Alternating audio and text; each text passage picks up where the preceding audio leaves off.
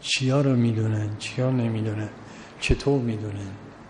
وقت از اینجا یک سوال دیگری زاییده میشه که اگه آدم بعضی چیزا رو می‌دونه وقت اقدام کردنش اشکال شرعی داره. آدم بدونه یه خطری متوجهش هست در یه راهی القاء فل اقدام به ضرر جایز نیست. نباید آدم کاری بکنه که به قیمت جانش دوام بید این اشکالی که می‌کنن برای مثل امشبی یا مثل شب نوزدهم که امیر المومنین سلام الله علیه می‌دانست که مناس ضربت بخوره به شهادت برسه یا نه. این چیزایی که نقل می‌کنن مرغابی ها و نمی‌دونم در و خود حضرت نگاه می‌کرد می‌گفت ما کذبت ولا کذبت. نه به من دروغ گفتن نه من دروغ میگم امشب آخرین شبه پس برای میشه می‌دونست. او خب چرا رفت؟ وقتی می‌دونست مراسم چه حوادث اتفاق میفته خب نمیره اقدام به ضرر هست. ولا تلقوا بعیدیکم الى التهلکه اتفاقا به همین آیه هم استدلال می‌کنه. که آدم نباید خودش رو به علاکت بیاندازه به خطر که می‌دونست چرا. بعد توسعش میدن امام حسین می‌دونست که در کربلا شهید میشه یا نه. خب این همه مرسیه خان ها داستان ها روایات نقل می‌کنن که حضرت وقتی حرکت میگرده از مدینه خبر دادن که انی با حسانی ها اسنان الفلوات خب می‌دونست پس چرا اقدام کرد؟ لا تلقو و ایدی کملا تهلکه نمی باید آدم جایی بره که براز به جانش جانش به خطر میاد. اینا باز شاهد بگیرن برای اینکه نمی‌دانست. پیش از انقلاب یه بحث هایی ما نمی‌دونم پیرمردا شاید بعضی ها یادشون باشه. یه آقای این مسئله رو مطرح کرده بود مدتی بحث و یک کتابی در این زمینه نوشته. به اثبات اینکه امام حسین نمی‌دانست دلایل مختلفی از جمله همین حرکا که بعد در همون زمان کسان دیگری که بعدها بعضیشون مرجع هم شدن رد اون کتاب نوشتن برای مدتی اشتغال ذهنی بود برای مردم به خصوص طلبه ها که امام حسین می‌دونست کشته میشه یا نه اگه می‌دونست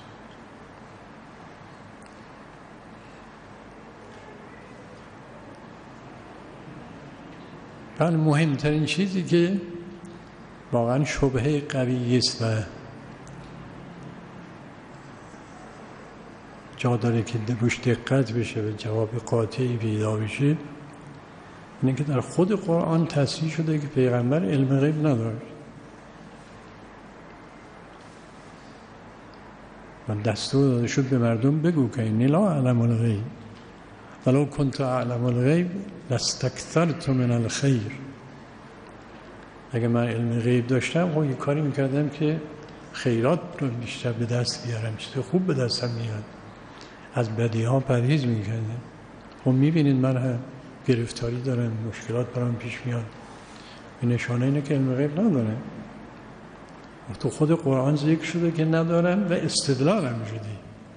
که ولو کنتو اعلم الغیب لستکثرت من الخیر پس شما چطور میگه پیغمبر می‌دونه چی میشه وقتی پیغمبر نبود دیگه ائمه و دیگران که به طریق اولا. خب میگن پس این همه روایات اینا چی میشه؟ میگن اینا حدس هایی بودی علم واقعی نبوده حدس هایی حدس حجتی نیست. ولی اینکه واقعا علم داشته باشه نه پیغمبر علم نداشته چیزی نمیده سایر من. بله فقط یه استثناء داره که اون وحی نبوت که به پیغمبر میشه اون البته اونا می‌دونه کسی که خبر نداره. این نوع غیبی است ولی غیر از وحی نبوت که به پیغمبر میشه پیغمبر هم سایر مردم است. این چیزایی که شما میگید می‌دونه اینا یه حدس است. خب گاهی هر کسی یه حدسی می‌زنه گاهی درست در میاد گاهی خطا در اونا حدساشون غالبا درست در میومده همین اندازه بلا فرق نداشت.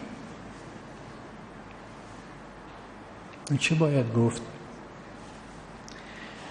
در که اصل این مسئله است که قرآن تصریح میکرمد که علم غیب مخصوص خداست. پیغمبرم میفرمان من علم غیب ندارم.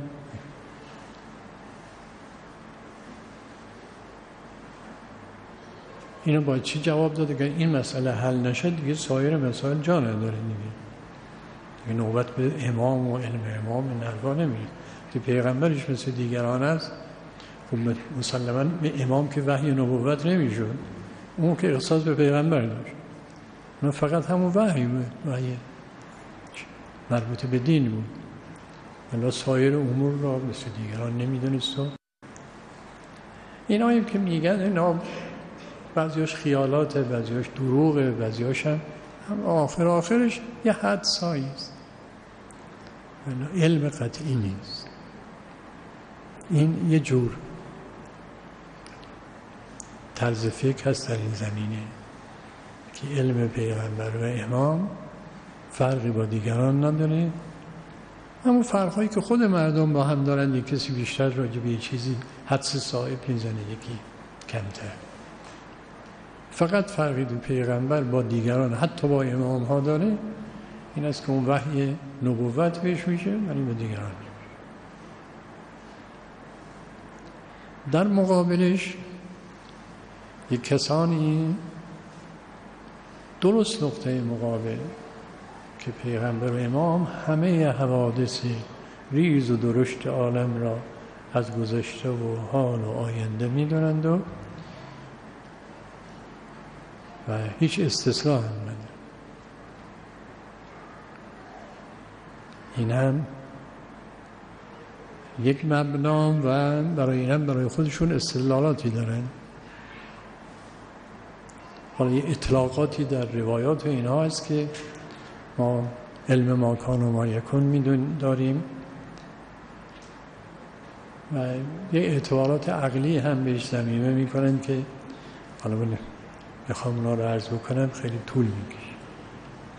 بالاخره این دوتا مشهد در دو قطب مخالفه یکی اینکه امام همه چیز همه حوادث عالم از گذشته و حال آینده می‌دونه. یکی هم که نه هیچی نمی‌دونه مثل همه مردم هست.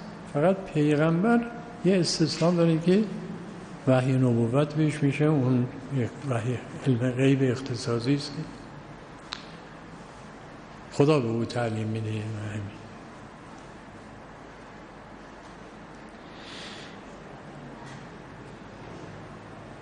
چند تا نکته هست که نکته های کلیدی است.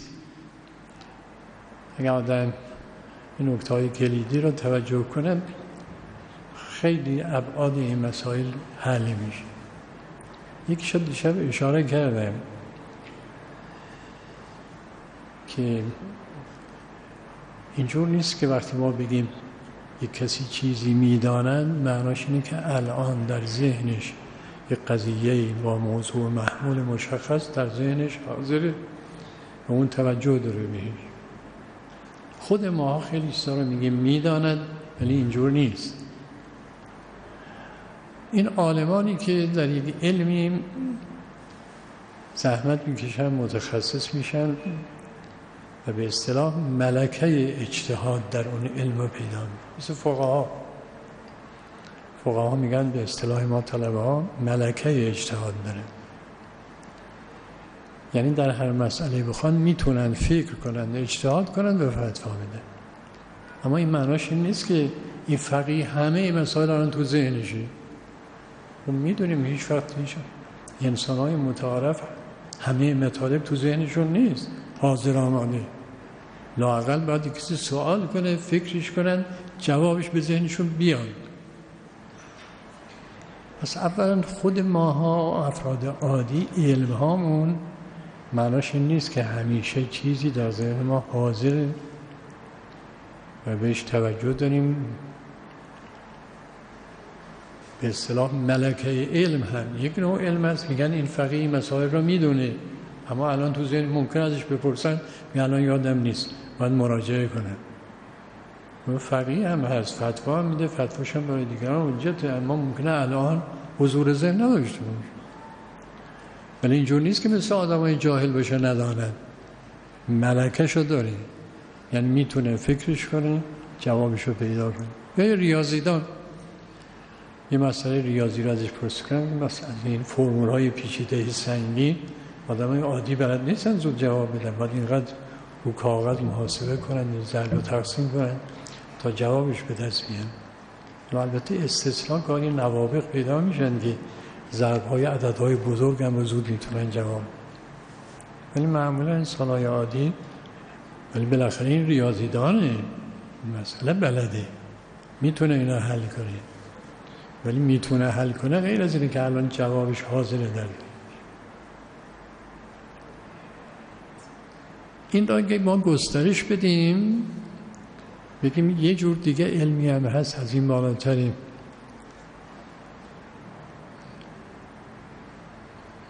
یه مایه علمی است یک تعبیر خودمونی تری شایع تری یه نورانیتی است که به اون توجه کند اون مسئله می‌تونه بفهمه و حل کنه. اما اگه توجه نکنند دارم میگه نمی‌تونه حال یه نکته اساسی در اینجا همینه که بدونیم علم مراتب داره. معنای علم داشتن این نیست که همیشه قضیه موضوع محمولش الان در ذهنش حاضره و تا بپرسن یا نه خود بدونه که بپرسن هم می‌دونه. حضور داره در این یه نکته.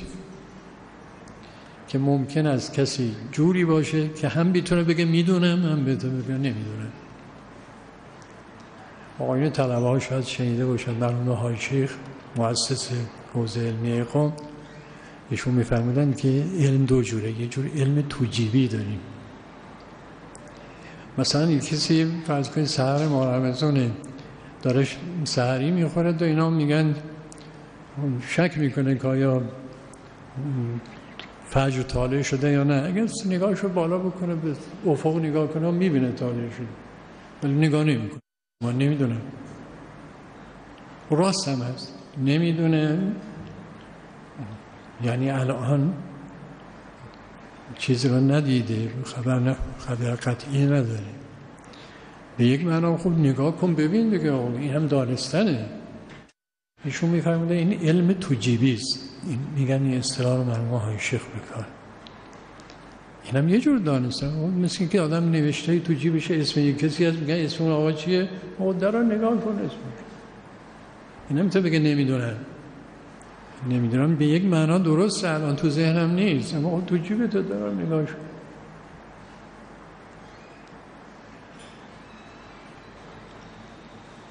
یه جور علم اینجوری است به یک معنا میشه گفت نمی‌دونم. یعنی الان آگاهی حضوری نسبت به این قضیه نداره.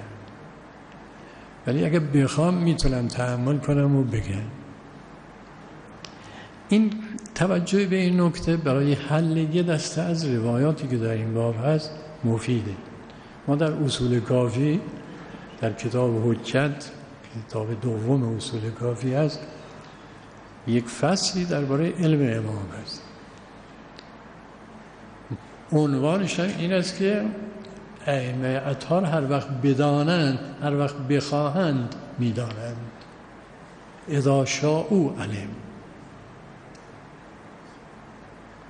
این معناش همینه که علمشون تو جیبشونه هر وقت می‌خواد می‌تونن دارن نگاهش بکنن. هر وقت نمی‌خواد مسلحت نیست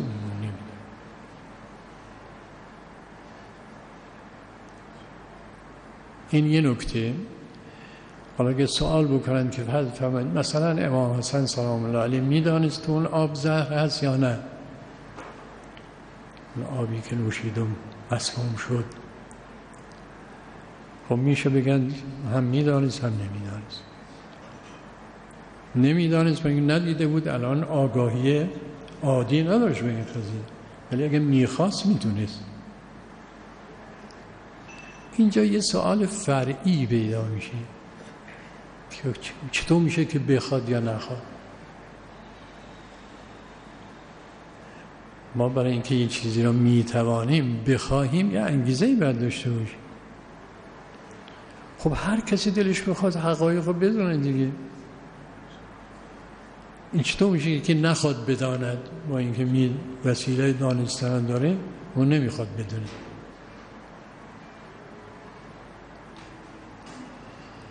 این جواب اجمالیش البته تفصیلش کتاب می‌خواد. اما اجمالیش اینه که مساله زندگی انسانی در این عالم طوریست که بعضی جاها نباید حضور ذهن داشته باشه. اگه داشته باشه اصلا اون مسلحت تحقق پیدا نمی‌کنه. میگید نه؟ داستان حضرت ابراهیم علی نبی و علیه السلام که دستور داشتشون در خواب دید که داره سر حضرت اسماعیل را می‌بره ذبح می‌کنه. و این خواب خوابی بود که خواب نبوت بود. و ایشون احساس کرد که چنین وظیفه ای داره. و این مسئله را با خود اسماعیل در میان گذاشت. گفت یا عبت فعل ما تعمر ستجدنی انشاءالله من الصابرین. پدر جون هرچی دستور هست عمل کن. منم هیچ نگران من نباش من تسلیمم. انشاءالله اینم ادب عبودیت بود. ستجدنی انشاءالله من الصابرین. خب حالا حضرت ابراهیم می‌دانست که بناس فدیه بیاد و حضرت اسماعیل سالم بماند یا نمی‌دانست؟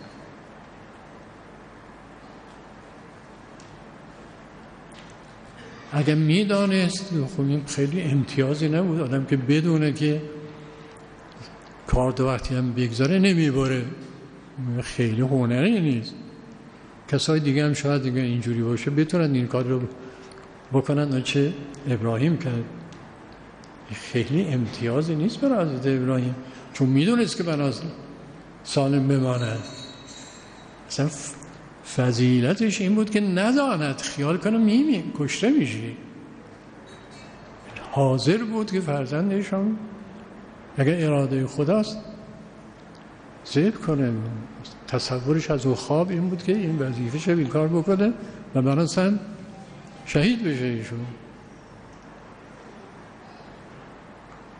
این بود که مقام ابراهیم رو خیلی بالا می‌بری که حاضر با تو رغبت امر خدا را اطاعت کن دستشم نلرزید اطاعت خداست اما می‌دونست که براز هرچی به مال کار را نبره. خیلی هنری نمون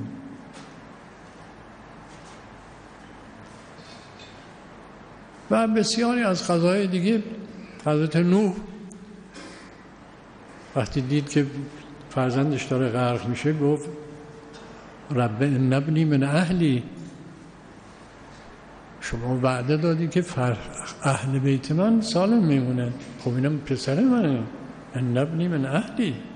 و ان بعدک الحق. وعده ای که دادی خانواده من سالم میمونن خب اینم پسرمه. این داره غرق میشه.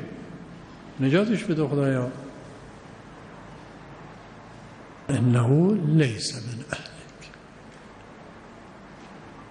اون اهلی که ما گفتیم این شامل این نمیشه. انه عمل غیر صالح.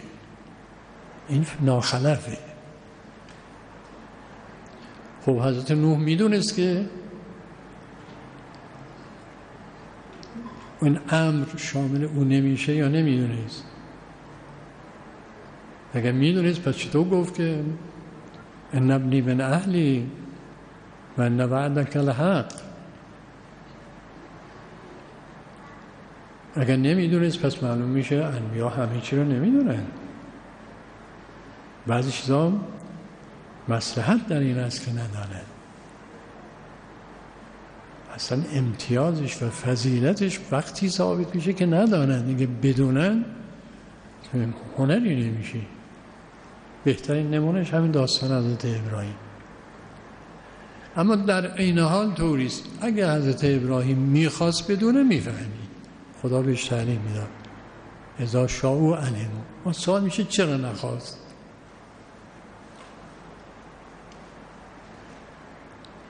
این یک مسئله عمیقتری است. اجمالا این که خدا بندگانی داری که اگر با تو رغبت اختیارشون بدن به دست خدا خدا اون چه مسلحت هست برایشون پیش میاره. هرچی باید بفهمند میفهماند بهشون. هرچی باید یادشون بیاد به یادشون میاره.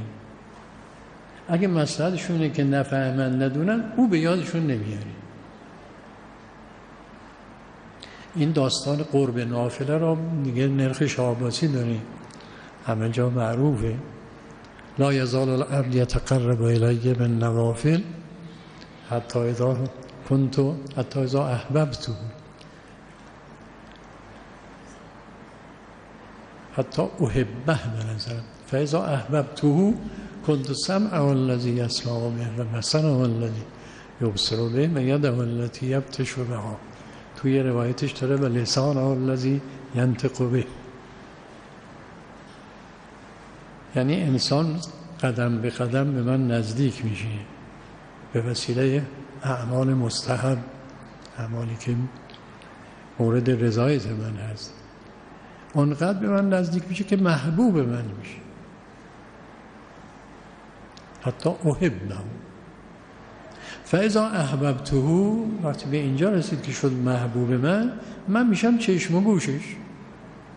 کنتو سمعه الذی یسمع خودم میشم گوشش. و بسر الذی یبصر به. چشمی که می‌بینن. و یده التي یبطش بها. تو اون روایت داره و لسان الذی ینطق به. زبانی که باید سخن میگه. من میشم زبانش. من میشم چشمش. زیلش هم داره و این دعانی عجبتو و این سعلنی اعتیدو اگر دعا کنه مستجاب می‌کنه اگه چیزی از من بخواد بهش میده.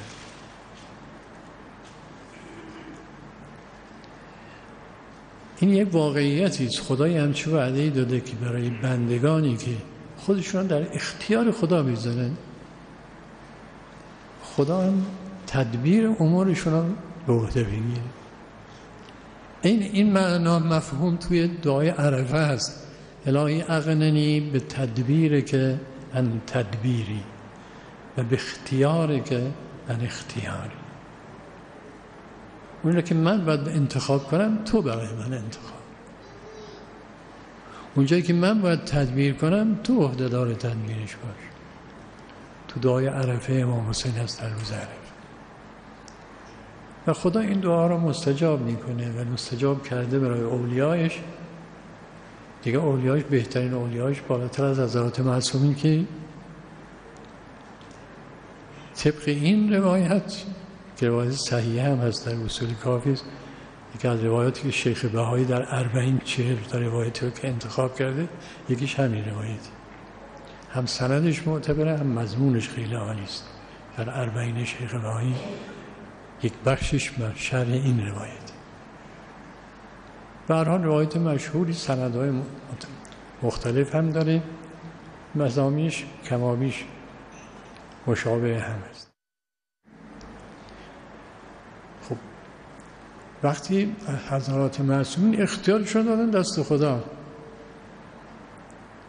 اونجایی که باید چیزی را بخواند خدا این زمینه فراهم کنه می‌خواد بخواد. این خواست در دل اونها پدید میاد. چون خودشون گفتن هر چی ما صلاحمون از بخواهیم اونا به ما بده.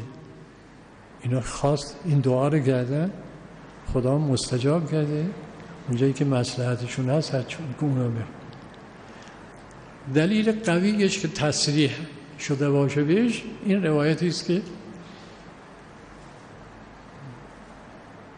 به نظرم از امام عسکری است ولی یقین نداره ان قلوبنا اوعیت مشیت الله. دلهای ما اهل بیت ظرف خواست خداست. خدا هرچی بخواد خواست او در دل ما تحقق پیدا یعنی هرچی ما می‌خوایم همونه که خدا می‌خواد. اگر یه چیز خاصش در دل ما پیدا نشد ما اینه که خدا نخواسته.